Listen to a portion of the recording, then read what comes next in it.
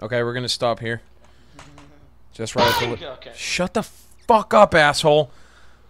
All right, Vic.